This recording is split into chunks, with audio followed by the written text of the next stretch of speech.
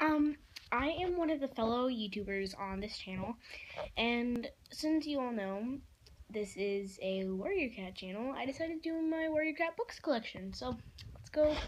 Here we go. Yeah. So this is uh, the first and second series. There's a bit of mangoes over there.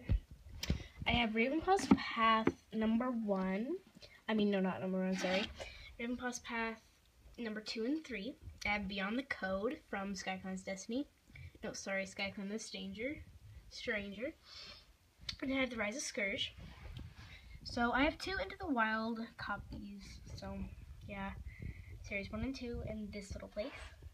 Then I have series three and four. I'm pretty sure, yeah. And then I have two of these, The Untold Stories and Tales of the Clans. Clans. And then, excuse me, just had dinner actually. I have my Warriors Ultimate Guide. Now, I got really mad at the ends for when they were putting in this little thingy that they did not put Dustpelt in here. And if you guys didn't know, my favorite character in the whole entire books is Dustpelt. And I literally just read him die in Bramblestar Storm, so so you see ThunderClan.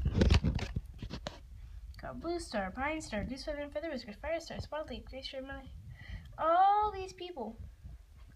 Guess who you don't see? Dustpelt. Yep. Dustpelt's not there. So yeah guys, that was my Warrior Cat collection. Oh, also have this. I got it for from this. It was inside here. So yeah, that's basically it. So I hope you guys enjoyed this video. Please subscribe, like, and favorite, and share. Um, I hope you guys have a good day. Goodbye!